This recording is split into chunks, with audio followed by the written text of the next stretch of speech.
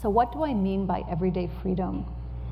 I mean freedom from emotional reactivity, freedom from pattern thought and pattern thinking, freedom from just basically doing the same old thing over and over again without thinking about it too much.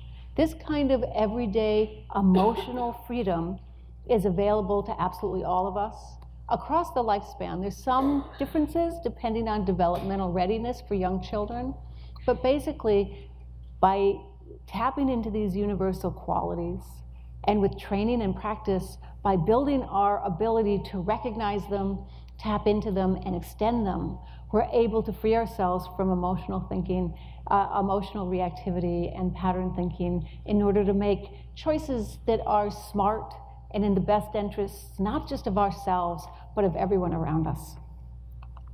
Now, in uh, presentations like this one, and you're going to get a lot of practical tools in this presentation. In presentations like this one, we tend to focus on the helpful uh, and the benefits of mindfulness and awareness, how it helps develop executive functioning, how it helps us have a more broad and expansive mindset, how it helps us care and connect with other people. And Kimberly, I believe, is going to give us some research around that, which is extremely important, especially in the public sphere and especially in schools. We need to have evidence base, base for this work so that it makes sense to devote our very limited resources, both financial and time, in the schools. And Kimberly has done amazing work together with the Dalai Lama Center to continue the march forward in building the scientific base. But there's one piece that I want to suggest right up front that is an extremely important part of mindfulness and meditation. And it's something that we heard about in the previous TED talk about nature. It's the experience of mindfulness. The helpfulness is very important, but there's an experience of mindfulness that is one of the reasons that seekers have sought contemplative training for millennia. The experience of mindfulness is a little bit like an aha moment. It's that moment we heard in the TED Talk earlier where uh, the young boy didn't feel separate from the pond, right? How many of you have had a feeling like that? There are aha moments where we feel like our sense of self drops away and we don't feel separate from anyone and anything for a second, but we can't really put words to it. It's not really conceptual, conceptual thought, it's a feeling. So it's that experience of mindfulness that also gives us the deep, genuine, lasting uh, sense of calm that is the title of this conference.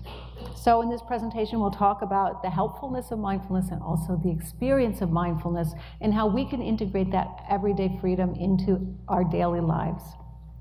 Now, I've said before, and I'm going to say throughout this whole presentation, that these universal qualities that we're talking about can be trained. That's the exciting part. They can be learned and they can developed and trained.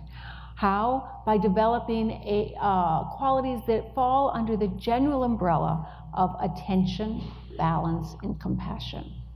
So we develop attention, balance, and compassion, and then we utilize those qualities in our everyday life. And that's by developing six social, emotional, and academic life skills focusing, quieting, seeing, reframing, caring, and connecting. Now, notice in this graphic, focusing is at the center and the circle is a little bit bigger, right? That's because we need focus, we need strong attention to be able to utilize these other life skills of quieting, quieting an overly excited nervous system, seeing what's happening in and around us clearly, reframing when that makes sense, and it makes an awful lot of sense for all of us, right? We all have biases, some we know, some we don't know, and sometimes we need to notice what we're thinking and then look at it from a different perspective. And when we're working with kids especially, it's helpful to acknowledge our the children's feelings and how the children is viewing something, and then make some suggestions for ways that they might be able to reframe their perspective. And what do we reframe towards? Always through caring and connecting. and we do this through a process of inner work. And the inner work we do is we just sit or stand or lie down or move. It's not always sedentary, as we saw this morning in our exercise. And we notice all of the thoughts, all of the emotions, all the sensations that come and go in our mind. That's it. We just become more familiar with the activity of our minds, knowing some of it will be pleasant, some of it will be unpleasant, some of it will be neutral, which may be okay or maybe a little bit boring. All of it is just part and parcel of being a human being. But the inner work alone works to a point. But we have found that it works better when it's bookended by motivation and an action. So let's talk a little bit first about motivation motivation in the way that I'm using it and in the way that it is uh, often talked about in classical contemplative traditions. Now, just so you know, I was a lawyer for 20 years, and now I've been teaching mindfulness to children, teens, and, and now mostly adults, uh, training them in how to teach mindfulness to children and teens. But that 20 years as a lawyer got me very well, very well trained in the importance of this work being secular, making sure that the language is secular, and making sure that everything that we bring into the schools is as evidence-based as possible, given the newness of the field, and that it is uh, secular and appropriate across cultures, across traditions. But I was trained and I still study in classical contemplative traditions because there's so, so much from those traditions, as we know from the Dalai Lama Center, that we can bring into this work and all of the work that they've done and then translate it into words and practices that are secular and fit in our modern secular world. And in that classical tradition, motivation is an important aspect of this training. It's the first thing we do when we start to practice meditation. Motivation, in the way that we're using that word, is very similar to the word purpose and meaning. So if we have a purpose and a meaning about bringing mindfulness into our lives or meditation into our lives, that first piece has a way of, it's a little bit like the yeast that makes the bread rise. It helps make the process work better. And in the contemplative tradition in which I was mostly trained, the purpose or the motivation is to help other people. And I think you find when you look at the purpose and meaning that is really outlined by most people when they talk about what their own purpose is or what their own meaning is uh, or what their motivation might be in the context of classical training, there's a common denominator in that it's not self-centered. It may be to help yourself, to be sure, but it's also to help other people too. Now, this is very good news if you're a caregiver, and it's very good news if you, like me, spend almost all of your waking hours working with or creating materials for caregivers to help them integrate mindfulness and meditation into their own life. Why? Because caregivers very rarely take time out for themselves. Does that sound familiar to anybody? Caregivers very rarely prioritize their own well being.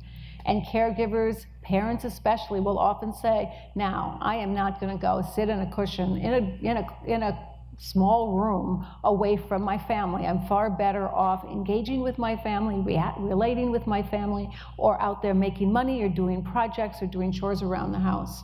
This is just not where my priorities are right now. But what if we turn that on its head? What if we tell caregivers what actually is the truth? that if we can take a little time out to lower our own shoulders, to just settle a little bit and get to know our minds a bit better, and if by doing that we become just a little less neurotic, just a little less reactive, our fuse gets a little bit longer, then it benefits absolutely everybody around us. So that way, our own personal self care has a ripple effect and it affects absolutely everybody that we come into contact with. So let's go back to the idea of inner work now. We know what our motivation is. It's to be helpful, to be helpful to ourselves, to be sure, but also to be helpful to everybody around us. And so we're going to get to know our minds better. And when we get to know our minds, all sorts of things come up. And we want to talk about how we can help kids, our concrete thinkers, understand what to do with all this stuff that comes up in their heads. How can we explain this to them simply, these complex com concepts? One of the things we do is we talk about animals. and we talk about how we have different qualities inside of us that are like different animals. And some of them are scary, some of them are funny, some of them are soothing, some of us, them are wise, some are compassionate, some of them point us toward the way that makes us our best selves, some of us not so much all the time. So there's a whole menagerie of different qualities that all of us have in our head, and they're all okay. They're all just part of being human. But we're going to talk about a few qualities right now that we really hope to develop in ourselves as adults and in the children themselves. And these qualities are mindful awareness, wisdom, compassion, our watchdog, otherwise known as our nervous system, and patience. So when I talk about mindful awareness, I'm talking about the mindfulness part, which is a stance of attention. And it's a stance of attention where we know where our mind is and our state of mind in real time. So right now, I am highly focused because my nervous system, my watchdog, is a little bit on high alert. Wondering, is there a little dangerous here? Can I really humiliate myself in front of all these people and on the video camera? So that's got my nervous system up. So that's a good thing in a way. Because remember, we have to have some nervous system stimulation to be at our best and to be alert, right? So we want some, but we just don't want to topple over. So right now, my nervous system is nice and slightly elevated, and my mind is sharp and clear. So that's, I know what I'm focused on, and I know my state of mind. The awareness part is something else. The awareness part can be any one of a number of things, but it looks like in the end, when we tap into our awareness, a quality that's inside all of us, we embody those three qualities we talked about at the beginning of the show, a presentation attention, balance, and compassion. So, mindfulness is a stance of attention where I know where my mind is and my state of mind in real time, right now. And awareness is when I embody these qualities of attention, balance, and compassion. There's another definition of mindfulness that I love, and it's a very simple one, too. And it's mindfulness, that mindful stance of attention, knowing where your mind is and your state of mind in real time. When you do embody that stance of attention, when you are mindful, what you can see is the activity of your mind, activity of what's happening within and around you, reflected as if in a clear pool. You see it clearly, you see it without distortion, without an added layer of story or projection or all that comes with our thoughts and emotions when they bubble up. Mindfulness is just seeing the activity, what's happening in and around us clearly as a reflection in a pool. So now let's go through these qualities a little bit more specifically. Let's start with the watchdog. We were talking about the watchdog as our nervous system. Some of you may have seen this arousal curve, our general arousal curve, and we talked a little bit about that at the beginning. When we are a little bit of stress is great for us. It's called healthy stress. When it's when we're at the top of that arousal curve, we're open, we're receptive, we're ready to learn. We have uh, a lot of energy and a wide, wide bandwidth to listen, to learn, to be receptive to new ideas. When that stress or strain or activation gets a little bit too much, we tend to slip over on one side or the other of that arousal curve. We either move into fight, flight, or fight or flight, or freeze. And we're going to talk more about that later. The next quality is wisdom. Wisdom is tied into the strategy of seeing and reframing. It's how we can make smart choices. And we play mindful games to help us develop wisdom. Just as the watchdog is tied into the strategies of quieting and focusing, and we, pay, we can play mindful games to help develop those two life skills as well. And then compassion. Compassion is when we're able to take it a little bit easier on ourselves. Self compassion is an extremely important concept for children and for caregivers, and also in turn take it a little bit easier on other people. And again, this is a quality that can be learned, it can be developed, and it's through mindful games that help develop caring and connecting, those other life skills on that circle of life skills. Wisdom and compassion in the classical tradition are often described or compared to the two wings of a bird. And the idea is that we need both to be able to fly.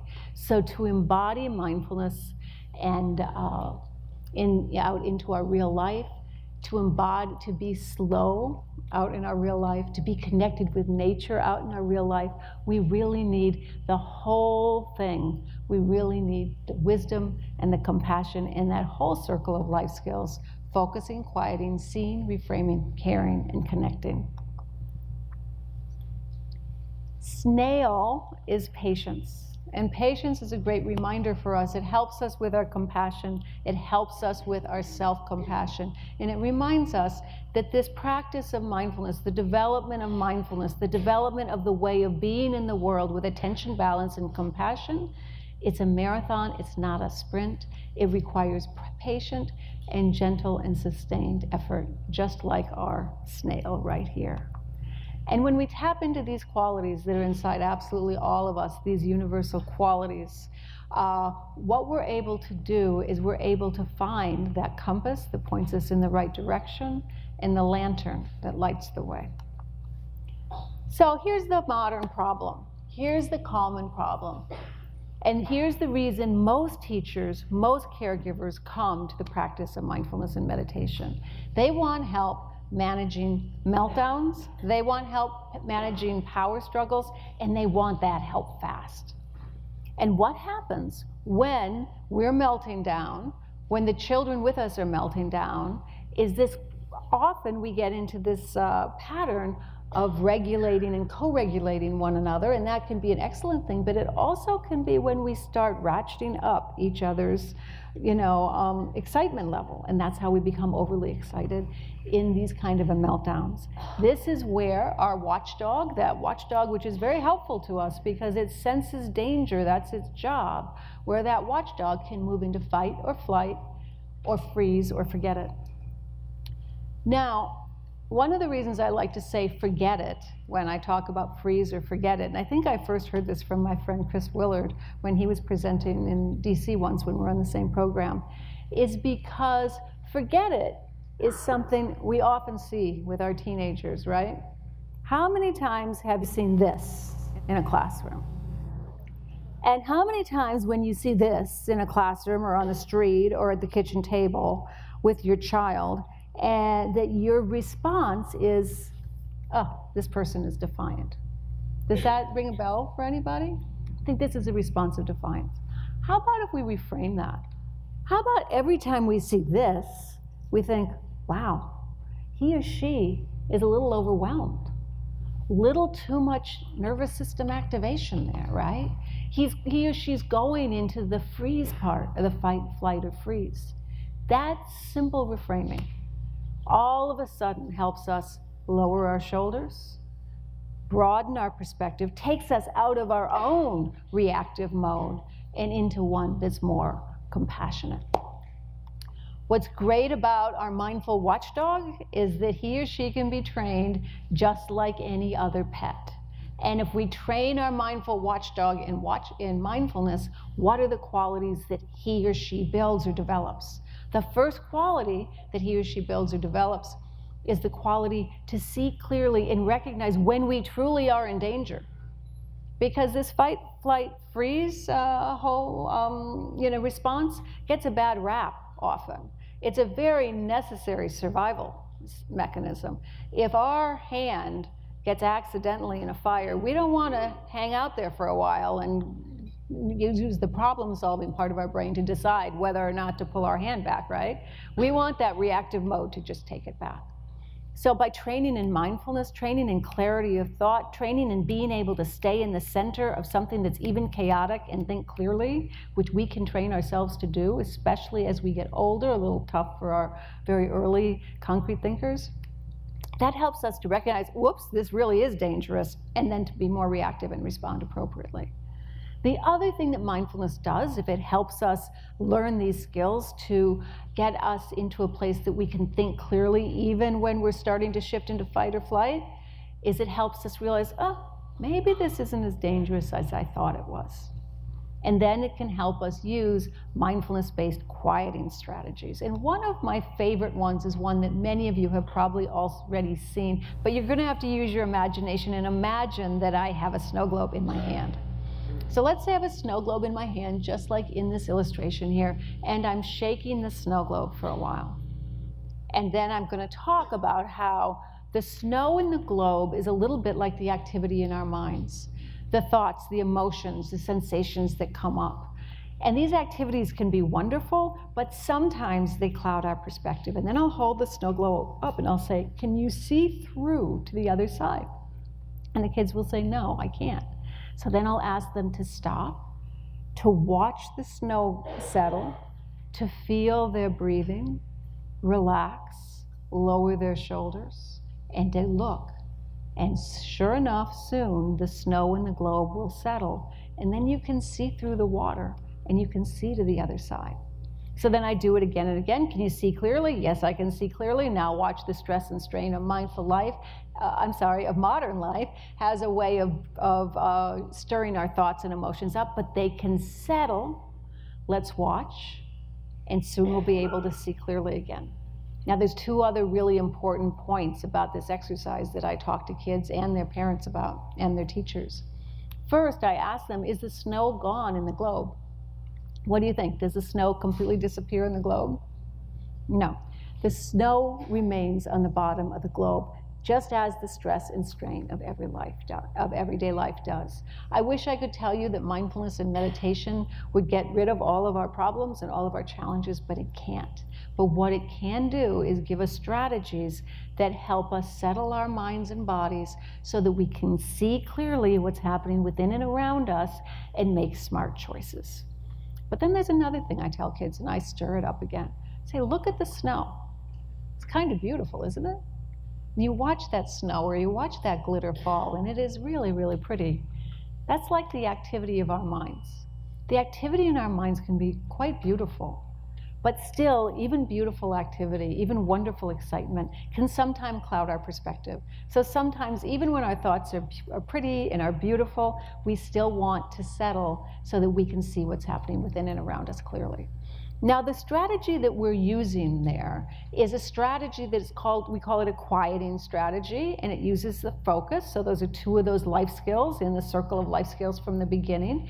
And it's a strategy where we move our attention away from what we're thinking about to an experience at the moment. And that simple strategy is one of the ways that our minds change our bodies. We can use our mind by moving attention away from worrying about the future or, or, or going over and over and over again the things that is getting us overly excited or upset. We move it into a present moment experience, often a sensory experience, the feeling of my feet against the floor, my bottom against the chair, the sounds in the room, and that has a way of helping our nervous system settle. And that's one of the quieting strategies that we use. If there's one slogan I hope you take away from this program, it's minds change bodies and bodies change minds, something we often forget. And the superhero pose, there's been some people saying that um, Amy Cuddy did a TED talk, some talk about some science that might support this, and there's some question about the science. But I can tell you this is something that kids love. If I sit up straight, if I open my heart, if I make eye contact, if I take on a more expansive posture, then I feel better. And as a result of this, other people then perceive me differently. That was the shift for me that made all the difference.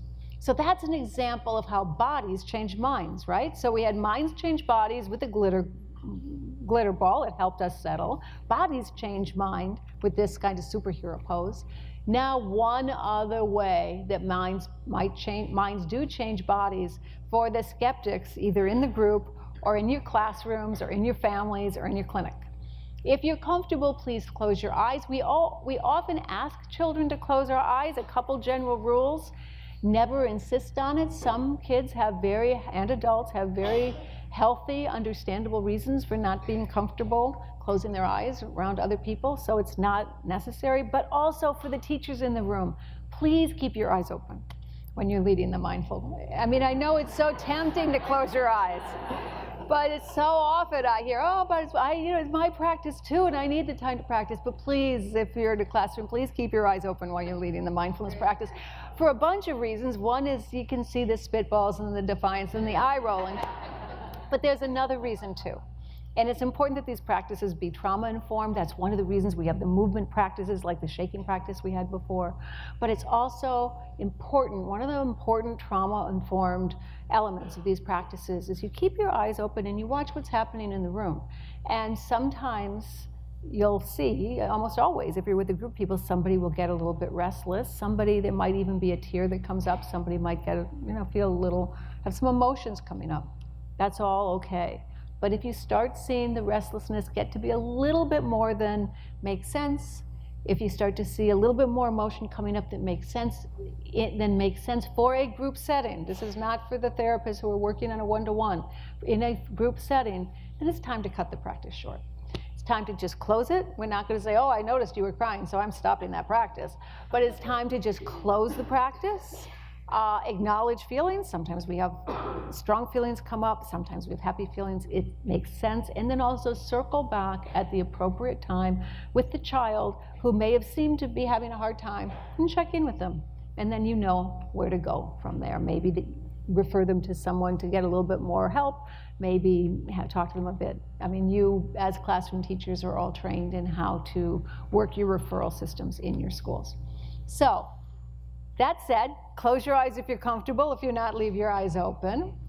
And I would like you to imagine for a second that you are in your kitchen and that you are at the counter and that in front of you you have a cutting board. And on that cutting board is a lemon and is a sharp knife. And the cutting board and the lemon is wet because you just washed it in cold water in the sink.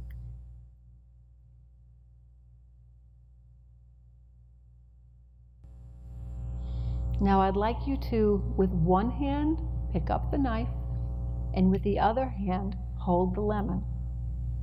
And I would like you to feel the weight of the knife in your hand. And now take that knife and just slice into that lemon. Now you've got a half of a lemon in one hand. Put that half down with the wet side up and slice into it again. And just imagine a little bit of that lemon juice comes out. And you feel it on your hand. Maybe it even splashes you in the face. Pick up the wedge of lemon and bring it up and just put it under your nose. Take a whiff. Now open up your mouth and bite into it. I wish you could see the looks on your face. Many, many of you, I can tell, had a mind body response, right? How many of you felt a little bit of puckering up or salivating? Well, that's one example of how our minds, just thinking about cutting into an, a lemon, just thinking about biting into a lemon can make us pucker up or salivate. Think of what other things our thoughts and emotions can do for our bodies. So minds change bodies and bodies change minds. Another way, another great quieting strategy and a focusing strategy that helps our minds change our bodies and our bodies change our mind is breathing on purpose. Now, this is different from mindful breathing. In mindful breathing, we notice the breath as it moves in and out of our body without uh, changing it, without modifying it. We just notice the breath. This practice, we deliberately emphasize the exhale.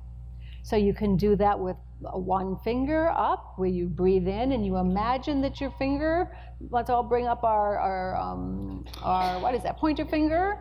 Imagine that it's a flower, smell the flower. Now your pointer finger has miraculously turned into a candle, blow out the candle. Smell the flower, blow out the candle. Smell the flower, blow out the candle. This slight emphasis on the exhale has a way of settling our nervous system, slowing our slow, slowing, lowering or slowing down our heartbeat. And yogis and meditators for millennia have known this. Now, if you're working with older kids, or adults or yourself. Sometimes smell the roses, uh, blow out the candle, you'll get some eye rolls. In that case, breathe in a little bit, breathe out a whole lot. Breathe in a little bit, breathe out a whole lot. This type of purposeful breathing is a great quieting it quiets that watchdog inside of us. It's a calming strategy, just like this one that first responders and people in the military use all the time. It's called box breathing. Take your pointer finger. It's helpful, especially with kids, if you make if you do things like this in addition to just breathing. So let's do it. We're going to make a box. Let's start in one corner. Breathe in, two, three, four. Hold, two, three, four. Out, two, three, four hold two, three, four. In, hold, out, hold. So those are some exercises where we breathe deliberately, where we breathe on purpose in order to calm an overly excited nervous system or watchdog. This is what we are doing before with the shaking, where we toggle between movement and stillness, a very important uh, idea to keep in mind as far as uh, trauma proofing your kids, uh, which is a great book by Peter Levine, and as far as trauma informed practices in the classroom. If we have a lot of nervous energy and it's hard to sit still, white knuckling ourselves through it is not often the best thing to do. But we can find ways to release nervous energy in a controlled way, like we did with the shaking, and then ground ourselves and toggle between the movement and the stillness as a way to release the energy and to settle down. Let me show you a quick way that we do this with young kids. Again, hands on the lap. And we're going to sway from side to side while chanting a rhyme. It goes like this tick, tock, like a clock, until we find our center stop. And this is a great way also. Center is a big word for our little kids and our concrete thinkers, but this is a way for them to get a sense of what we mean when we talk about finding our center through a movement activity. So let's do it together, and we're going to add to it at the end three purposeful breaths, just the way we did earlier today. If I had a bell, I could also ring the bell and we could listen, okay? And if you would like to chant along with me, you're welcome to do so tick tock like a clock until we find our center stop.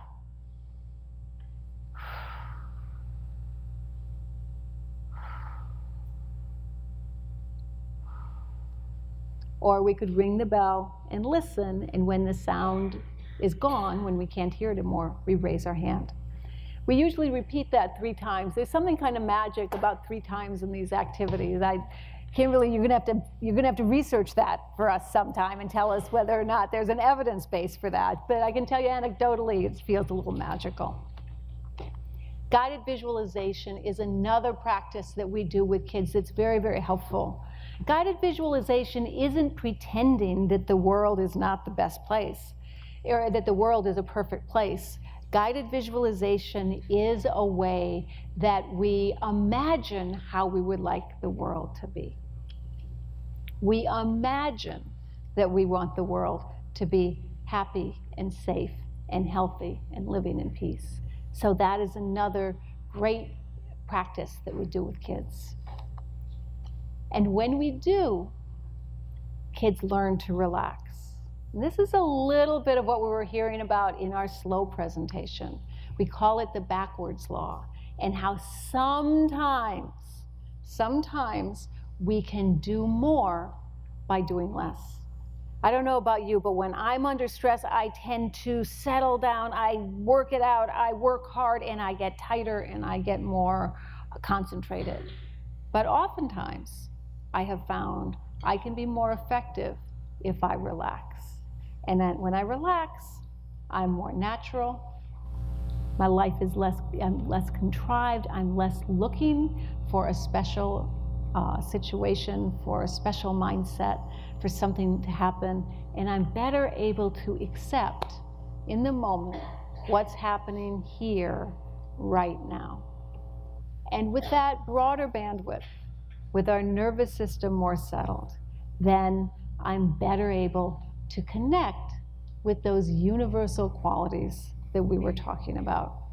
Those universal qualities of mindful awareness, of wisdom, of compassion, of patience. These are universal qualities that all of us have in us. They're qualities that can be trained, and they're qualities that we can help our kids recognize and develop and grow as early as toddlers. So thank you very much, and I really appreciate it. Thank you.